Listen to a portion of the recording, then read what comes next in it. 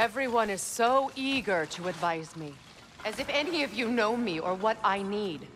The biggest loss in my life is due to you saving me when I specifically told you not to.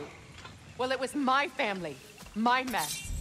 I know Baldur wasn't perfect, but he was mine. I know. You know? You think you can even begin to understand the pain of losing a child? Yes, I do. There was another. Before Atreus? Her name was Calliope. Calliope. What happened? It was long ago. Never mind. I shouldn't have asked.